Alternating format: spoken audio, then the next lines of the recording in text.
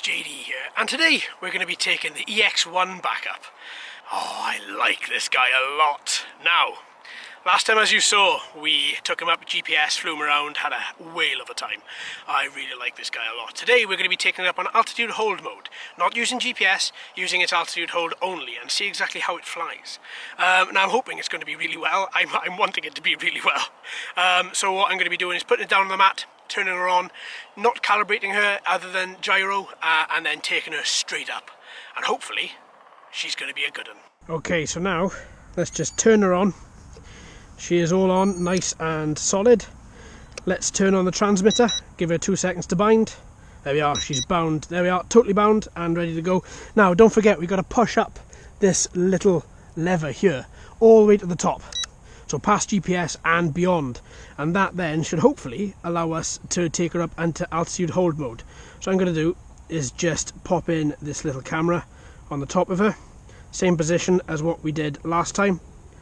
And that should be there we are that's nice and solid for her at the top there. And she's still equally spaced. Yeah there we are nothing's touching any propellers. We are safe. Okay and with that let's get back to a safe distance and then let's take this guy up. There we go and then we should just be able to push upwards. And up she goes. And there she is. She is up she is running. But this is don't forget this is with altitude hold mode. This is not GPS and yes okay she's drifting a little bit. But all in all I think that is quite good. Let's bring her back. Look at that.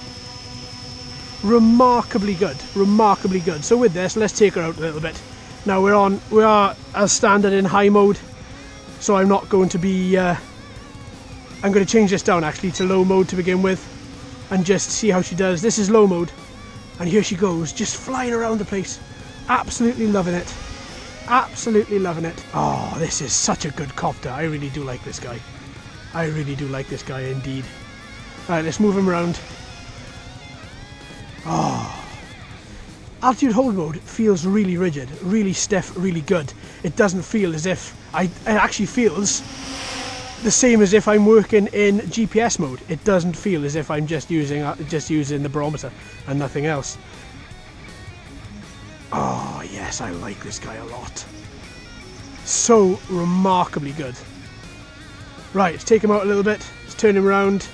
Let's bring him back to me. oh yes. This guy keeps on surprising me. Really keeps on surprising me. Oh, yes. Just so nice. Just just flying around really nice and gently. And then high mode. Bam! In she is. In she goes. A bit more erratic. Her corners are a little bit more, a little bit more, a little bit tighter. But all in all, she is really. Oh, we've got battery flash. We've got battery flash. Oh. Look at that. That's extraordinary. Even in altitude hold mode only, which I am. Look, altitude hold mode, I'm up all the way. As soon as you hit 19% battery, she takes herself home. GPS kicks in and she does return to home. Look, I am, I am totally 100% serious. That is absolutely remarkable. I have never, ever, ever known a quadcopter that wasn't in uh, it wasn't in GPS mode to be taking itself home. Now obviously it's using its GPS now to ride itself down, but considering it was actually just configured, look, still it's up in the up in the highest point. It's using altitude hold mode, but yet it's taking itself home. Look. That's just astonished me. In altitude hold mode, I did not expect when it got down to its 19% or 20% battery level for it to be taking itself home via GPS there was a split moment because I was in altitude hold. I thought it was just, it was gone. I don't know, you know, there was just that moment of fear. I was like, oh no, once again.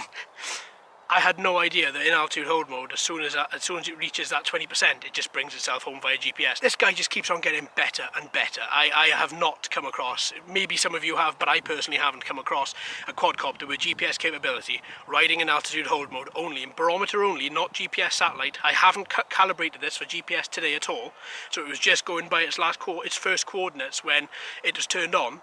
Um, and just for it to bring itself home via GPS. And you saw exactly how stable that was. That wasn't altitude hold. Uh, that couldn't have been altitude hold. Um, well, this sec this revisit has just blown me away. Absolutely blown me away. Um, I hope it has you too as well, folks. So I tell you what, with that, I think I'll end that there. Thanks ever so much for watching and listening, folks. I've been JD. You've been fantastic as always. If you haven't already, please subscribe and give us a like. Hello and welcome to all the new subscribers. I hope you're enjoying the channel. So until next time, my friends, happy flying.